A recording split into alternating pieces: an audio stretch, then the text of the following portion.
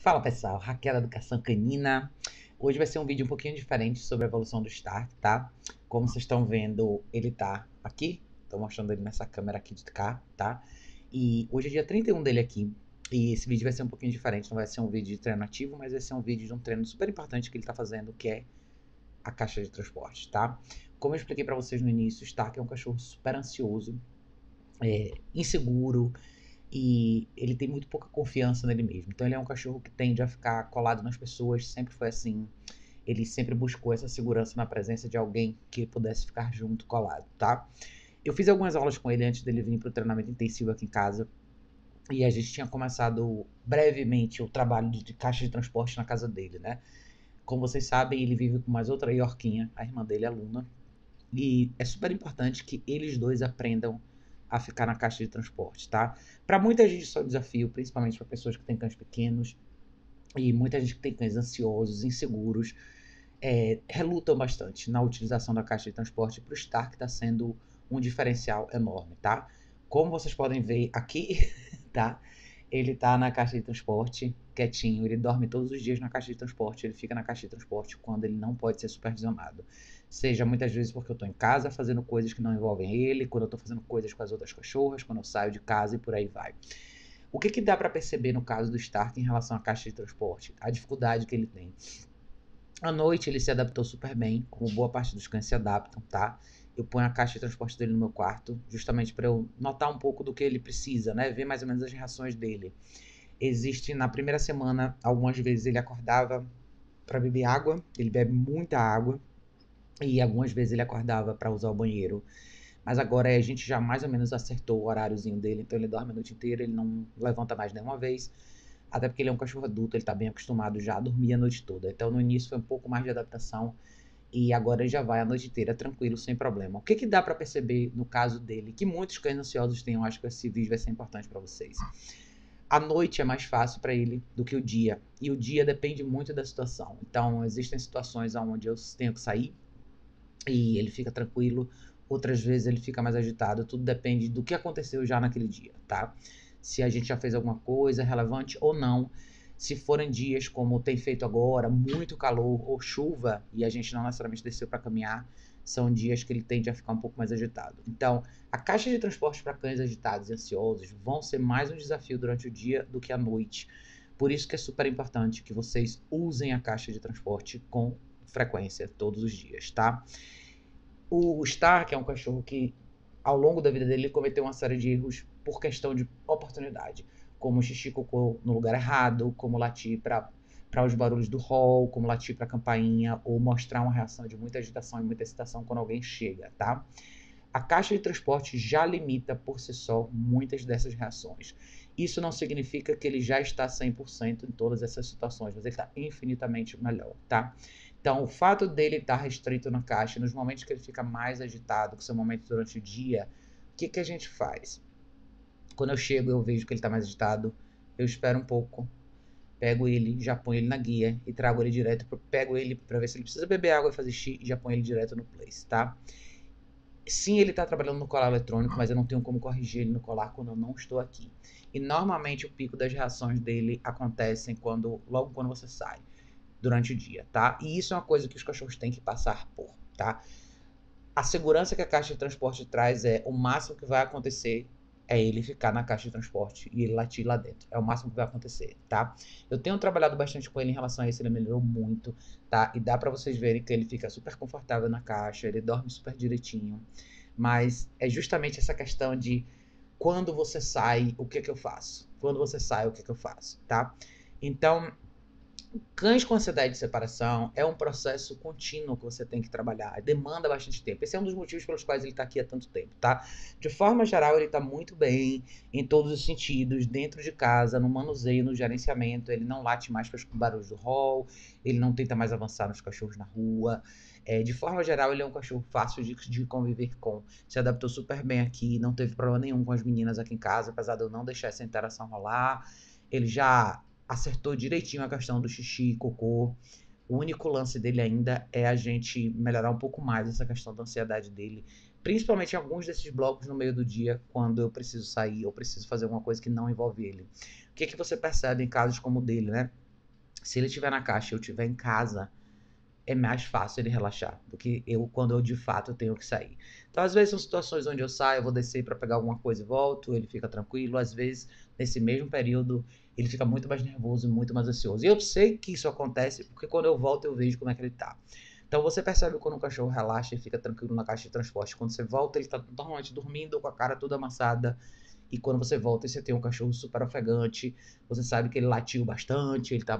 Sabe, você vê aqueles pinguinhos de baba que ficam no, no tecido embaixo da caminha da caixa, ele fica agoniado. Então, você percebe muito isso. Então, ele, ele já saiu de um cenário onde isso sempre acontecia para agora num cenário variável. De vez em quando isso acontece, de vez em quando não. Então, isso significa que a gente está chegando em algum lugar, tá? Eu acho importante vocês verem isso, porque num processo de treinamento intensivo, tem coisas que acontecem rápido e outras coisas não. Opa! Os cachorros são diferentes e conforme o tempo vai passando, você vai vendo coisas diferentes em, em relação a cada cachorro, tá? É, como eu falei, ele melhorou muito em relação a quase tudo. Ele estaria quase que pronto para ir para casa, mas eu quero que essa parte em particular fique muito boa. Por quê? Porque a Luna ainda vai vir para cá ele vai ter um período de se adaptar na casa dele. Eu não quero que ele volte para casa dele e faça tudo exatamente como ele fazia antes. Ele vai ter que lidar muito com esse grau de restrição que eu estabeleci aqui em casa e que ele absolutamente se adaptou bem, mas isso vai ter que acontecer na casa dele, especialmente quando a Luna voltar para casa. A, vai ter que acontecer um pouco do rodízio e o gerenciamento dos dois cães, tá? A última coisa que eu quero é que eles dois voltem a conviver deliberadamente, do mesmo do jeito que eles faziam antes, para a gente evitar justamente a questão das brigas e dos problemas que ele teve com a aluna dele, atacar ela em momentos de excitação. Então, eu acho que o que fica para vocês verem é o seguinte: sim, a gente pode recriar cenários para corrigir, como eu posso fazer do mesmo jeito que eu estou fazendo agora, deixar uma câmera com ele e lá fora, quando ele começar a chorar, quando ele começar a reclamar, eu corrijo ele no colar. Absolutamente, mas em algum momento eu vou de fato sair. Eu vou estar tá fora do alcance do colar eletrônico e ele tem que passar por isso, tá? É muito mais fácil ele passar por isso na caixa do que ele passar por isso solto, como vários cães passam, que é arranhando a porta, latindo, gritando, eventualmente se machucando. Eu já vi cães quebrarem a unha porque arranham a porta demais, se machucarem porque pulam demais, se baterem em alguma coisa, porque entram nesse momento de pânico. Então, vocês podem perceber, eu já comentei isso em outros vídeos dele, que uma coisa que eu não faço com ele é eu não fico com ele no colo, não fico abraçando ele, não deixo ele subir no sofá, ele não faz nada disso. Ele literalmente tem um place dele quando a gente está na sala. Quando eu faço as sessões de treino, estou me movimentando com ele. Quando eu caminho com ele, eu levo para ele algum lugar. Eu sempre levo o tapetinho para ele deitar no chão. E é assim que a gente está tendo essa convivência. O ideal, logicamente, para o treinamento intensivo dos cachorros é um período mais longo. Eu gosto de falar que acho que oito semanas é o período ideal. Eu sei que nem todo mundo tem condição de investir num tempo tão longo, mas eu acho que os vídeos que eu tenho feito aqui são legais para vocês verem o que acontece em cada etapa desse processo e por que, que eu faço questão de, de fazer essas etapas bem quebradinhas e prestar atenção em cada detalhe do que o cachorro te mostra no meio do caminho, tá? Porque seria fácil eu considerar tudo que ele já fez até agora e a evolução que ele já teve até agora e devolver ele, mas eu não posso desconsiderar talvez esse que é um dos pontos mais importantes para ele, que é essa questão da ansiedade, tá? E isso talvez é mais difícil para as pessoas do que para o cachorro. Muita gente tem essa dificuldade de ver o cachorro agonizar e ficar desesperado, e querer subir no seu colo, não poder subir, e querer estar tá sempre se escondendo. Então, a caixa de transporte, talvez ela é um desafio menor para o cachorro do que para a pessoa, tá?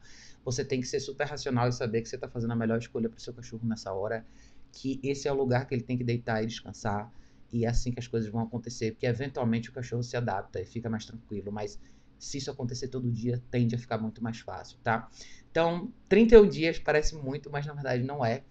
É, é, um período considerável, mas é só o começo, tá? Ele vai melhorar bastante. Depois eu vou fazer mais vídeos em relação à caixa de transporte com ele. Eu vou filmar os momentos que eu saio para vocês verem um pouco como ele reage e vocês vão ver que existem essas variáveis. Tem momentos que ele fica bem e tem momentos que ele ainda fica um pouco mais nervoso, mas absolutamente está melhor do que estava antes. Antes, qualquer situação que você colocasse ele na caixa e você literalmente saísse de cena, ele já entrava em pânico e agora não. Agora ele já fica bem mais tranquilo. Então, o que vocês estão vendo aí é como ele dorme todo dia. Ele, como eu falei, ele é um cachorro de 5 anos. Ele não é um cachorro com muita disposição física, ele cansa relativamente rápido. Então, ele não é um cachorro difícil de gerenciar. Ele não é um cachorro que requer muita atividade física durante o dia. Se você fizer duas sessões de treino por dia com ele, caminhar, o dia dele tá basicamente completo e ele fica super tranquilo no place com você onde você precisar, tá? Acho que uma coisa importante é tirar esse hábito de ficar com ele no colo, isso já foi ótimo. Não é uma coisa que ele reclama mais, ele fica numa boa no place dele. Então, esse pedacinho só que a gente está trabalhando agora.